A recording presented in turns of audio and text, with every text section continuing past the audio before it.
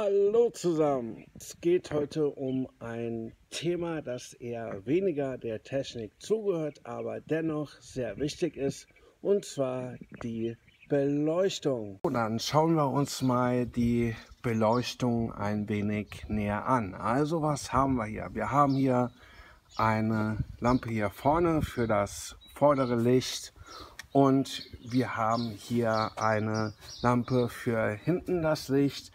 Das ist so die gängige Beleuchtung in der modernen Zeit. In der älteren Zeit der Rennräder gab es mal die Zeit, wo es noch Dynamos gab, die vom Vorderrad angetrieben worden sind und wo hier vorne eine Lampe war, die dann aufleuchtete, wenn man den Dynamo dann an das Vorderrad angelegt hat. Aber diese Zeit ist schon länger vorbei und jetzt ist es so mit der Beleuchtung, dass wir hier halt eben zwei Lampen am Rad haben und zwar wie gesagt hier vorne eine und hier hinten eine und diese Beleuchtung, die wir hier haben, ist noch relativ günstig. Das geht noch viel, viel, viel besser.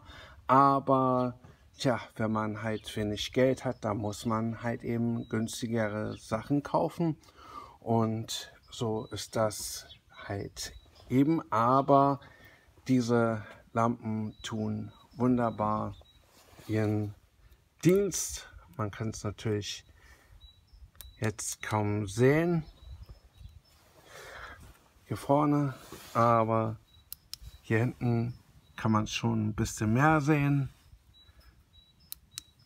Das ist völlig ausreichend für die Dunkelheit.